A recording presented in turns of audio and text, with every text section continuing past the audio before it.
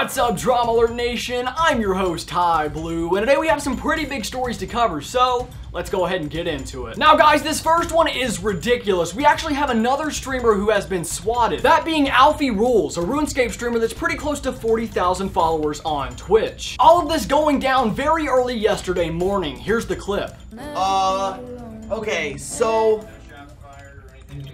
no, uh, I, I, I'm live streaming and they called SWAT apparently. Oh my It was, it was a fake call. What happened? Uh, It's a fake call-in. It wasn't me. I'm live streaming. I, I'm I'm streaming to a bunch How of do you know people about the call? because they said it in my chat. They- They said, "Have you ever been swatted before?" Look, somebody in the chat said, "Coming in your windows," and then, uh, uh, "Have you ever been swatted out in rules?" Have you ever been swatted? And then that, that's my Twitch name. Or I'm, how do I'm you here. know that that means that these guys are calling in this? Hey, are you live right now? Yeah, I am. Can Can they you hear us? take us off? Yeah, yeah. Just absolutely insane, dude. Like, obviously, this is nothing new. This sort of thing is pretty common nowadays. I guess at least they didn't full on kick down his fucking door or anything, but still, I, I feel sorry for the guy. All right, now this next one is coming from Philly D, who apparently got stuck in France due to a strike. He said this, was about to board our plane to Ireland, but apparently the refueling staff just went on strike. What? LOL, fuck me. And oh wow, just looked it up and as of an hour ago, it looks like France Air Traffic Control went on strike for possibly 36 more hours. Jesus, that would suck so bad, but it looks like the airport got everything worked out and he made it to Ireland. Okay, so this next one is coming from Hollow Point, who about a week ago had some pretty funny stuff happen in one of his videos. Apparently, while he was typing in poop on his PlayStation, it auto-suggested Pornhub. and of course, all of his viewers caught this and roasted him pretty hard in the comments. Which is crazy because it was literally only on his screen for like a fraction of a second. But yesterday, he finally responded to the comments in a video saying, yes, you caught him. At some point in the past, he may have used his PlayStation for something other than gaming. Which, come on guys, it's not that big of a deal. I mean, everybody's gotta play with their joystick every once in a while.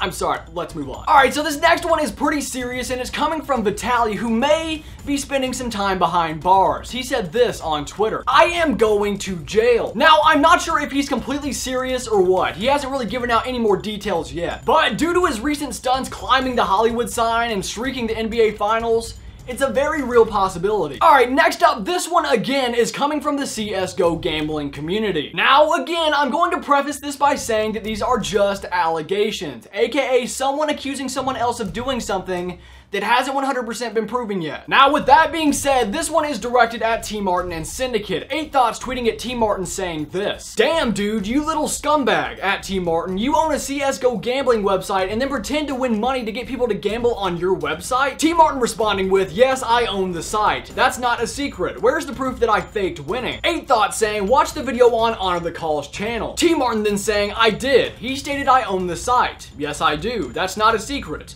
That doesn't mean my videos were fake. The video he's referring to is coming from a channel known as Honor the Call, basically pointing out that TmarTn and Syndicate have both made videos winning large amounts from a gambling website that they both personally own. Of course, to me personally, TmarTn and Syndicate seem like really honest, stand-up guys, and whether these allegations really hold any truth or not, is pretty much anyone's guess. So again, just allegations, alright? It's really fucking sad that I have to emphasize that so hard. Okay, anyway, this one's coming from Pamaj and Imbos, who had a little wager over a pool match, and Pamaj ended up losing two grand. Imbos posting this on Twitter. I want it right now. PayPal, you know the drill.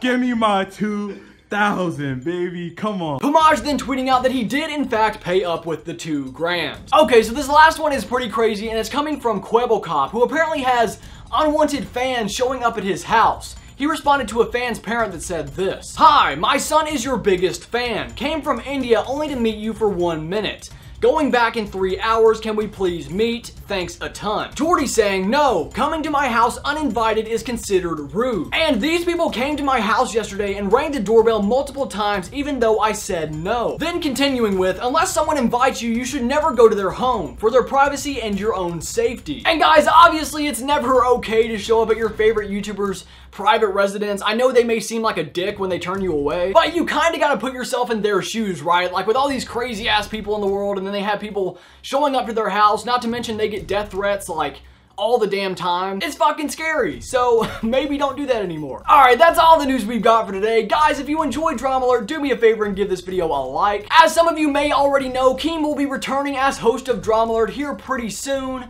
I probably have a couple more videos left with you guys, but I just wanted to say thank you for having me. And as always, this has been your host, Ty Blue, and I'll catch you guys next time. Peace. Oh man, thanks for the heads up, Hollow Point. Better go clear my console search history.